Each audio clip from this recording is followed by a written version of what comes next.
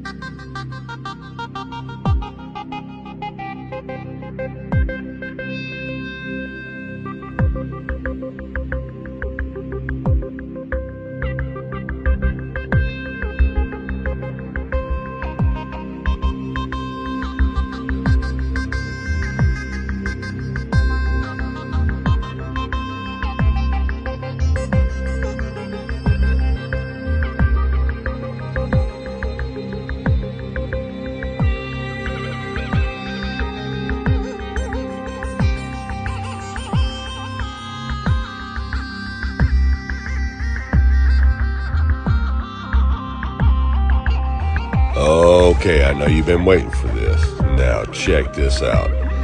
The clouds that look white don't show up in front of the sun because they're behind it. It's lighting them up.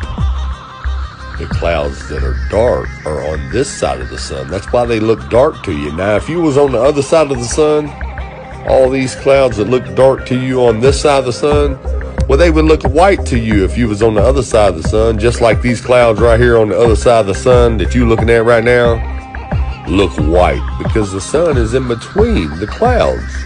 The ones that are behind it are lighting up white, but the ones that are in front of it are dark and you can see them pass through it right here in the negative filter, plain as day and the solar filter.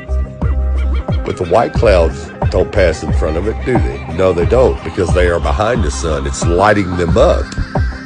It's not lighting the dark clouds up because it's on the other side of them. And you're looking at it from the dark side. It's really, really simple. Now, this is only possible one way. As you can see here, you have the white clouds behind the sun, the dark clouds in front of it. Now, check this out. I have a piece of cardboard box cut out. I have one side of it on the light bulb of a lamp and one side on the other. It means the sun would have to be located here in the middle to cast light behind on the clouds behind it. But it can't ca- cast light on the clouds in front of it. It's really, really simple. This is 100% proof that our sun is local and not 93 million miles out into so called outer space.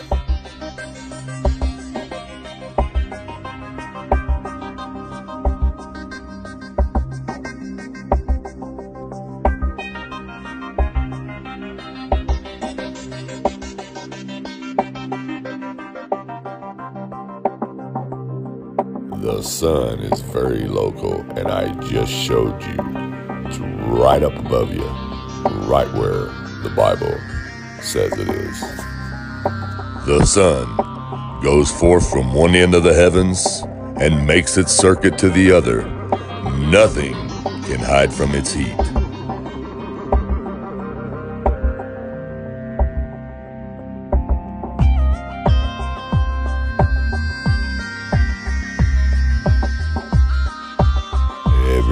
Thanks for watching. Have a good night and God bless.